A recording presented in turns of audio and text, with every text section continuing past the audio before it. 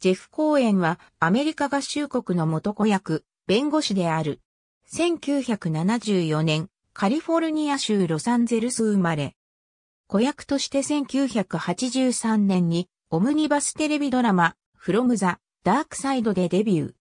その後もいくつかのテレビドラマへ出演し、1985年にリチャード・ドナー監督のアドベンチャー映画、グーニーズのメインキャストとして出演し劇場用映画デビューを果たした。同作品では、主人公を率いるグーニーズのメンバーの食いしん坊で肥満児のチャンクを講演。その後、ジェフビー公演名義で世にも不思議なアメージングストーリーの2エピソードへも出演している。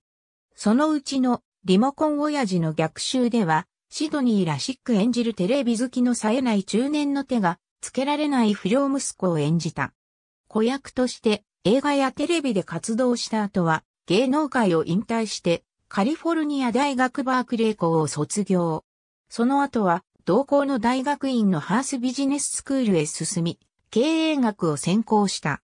その後は法律を学び、2000年に UCLA スクールオブローを卒業し、現在はロサンゼルスを拠点にエンターテイメント業界の弁護士として活動している。